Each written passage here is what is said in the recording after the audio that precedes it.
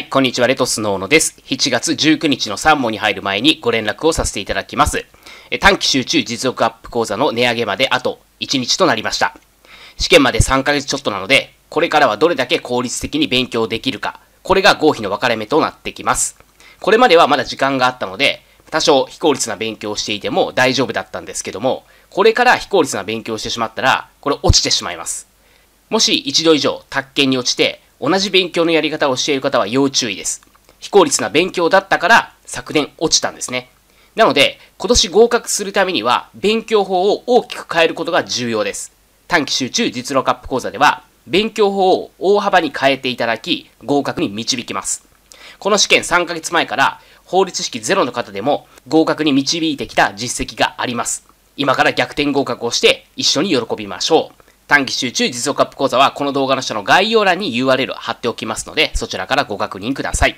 それでは本日の3問に入っていきます。A は B に100万円を貸した。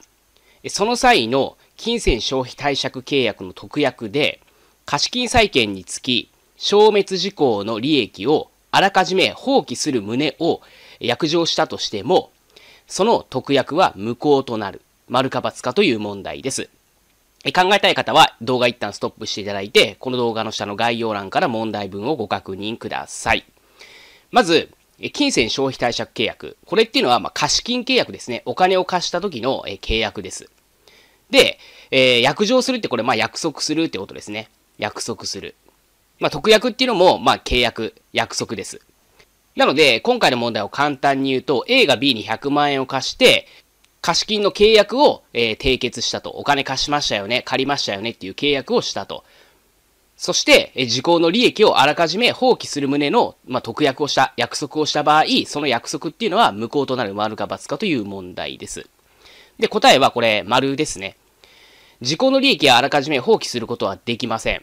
そのため、えー、本文のような特約っていうのは無効になるんですね。で、これっていうのはどういうことか理解できていますでしょうかこのルールっていうのは理解をすれば当たり前のことを言っているってことに気づくんですね。ただちょっとここで解説すると長くなりますので、短期講座ではこのような分かりにくい部分について具体例などを使いながら動画解説をしていきます。短期講座の受講者さんは受講者専用のメルマガから内容をご確認ください。で、問いにですね、えー、媒介業者、宅建業者 A は、媒介契約が成立するまでの間に代金に関する融資の斡旋について、融資条件を重要事項として説明したが、その融資が成立しない時の措置について、飼い主に説明しなかった場合、宅建業法違反となる、丸か×かという問題です。で、答えは丸ですね。重要事項説明として、代金または交換先に関する貸借の斡旋内容だけではなく、斡旋が成立しなかった時の措置も説明しなければなりません。よって宅建業法違反となります。代金または交換先に関する貸借の斡旋内容。これどういうことかっていうと、お金を貸してくれる銀行の紹介などについての話なんですね。斡旋っていうのはまあ紹介っていうイメージですね。お金の貸借に関する斡旋なので、まあ、住宅ローン組む際の、まあ、銀行の紹介ですね。そういったイメージで大丈夫です。また、売買契約は締結したけれども、もしお金を借りられなかった場合どうなるのか。つまり、ローンの審査が下りなかったってことですね。そういった場合どうなるのかを重要事項として説明する必要があります。重要事項説明書の記載事項に関する問題は非常に細かい部分まで出題されます。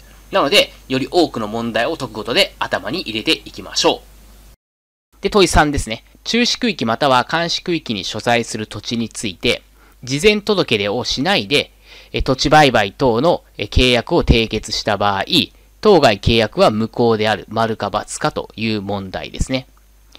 で、答えは×です。無効ではなくて有効なんですね。中止区域または監視区域に所在する土地について、事前届出をしないで、土地の売買契約を締結した場合、届け出しなかったとしても、契約は有効なんですね。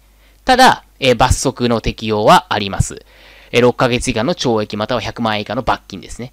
で、今回は、まあ、中止区域とか監視区域なんで、まあ、事前届出の話なんですが、中止区域や監視区域じゃない土地の場合、事後届出が必要な場合ってありますね。で、事後届出が必要な場合も一緒です。届け出をしなかったとしても契約は有効です。ただ届け出をしなかったことによる罰則の適用はあります。なのでこの点も合わせて頭に入れておきましょう。そして短期集中実力アップ講座の値上げまであと1日となりました。効率的な勉強ができれば今からでもまだ間に合います。もう来年勉強したくない、今年で終わりにしたいという方は動画の下の概要欄から短期講座の内容をご確認いただければと思います。あなたの受講をお待ちしております。レトスの小野でした。